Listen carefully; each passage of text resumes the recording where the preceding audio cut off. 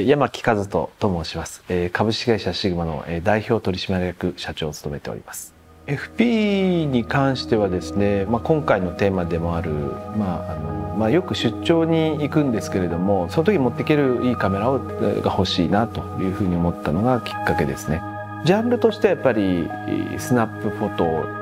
トストリートフォトのようなものが好きで海外の街角とそこにいる人みたいなものをですね撮るのが好きですね。中国の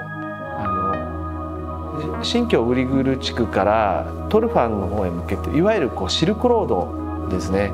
あそこに一度行ったことがあるんですけれども本当にこうこの世のものとは思えないような景色が広がっていてでもところどころにオアシスかなんかがあってすごく美味しいブドウとかスイカとかが食べられるような場所があっていい経験をさせていただいてあそこは是非家族に見せてあげたいなというふうに思いますね。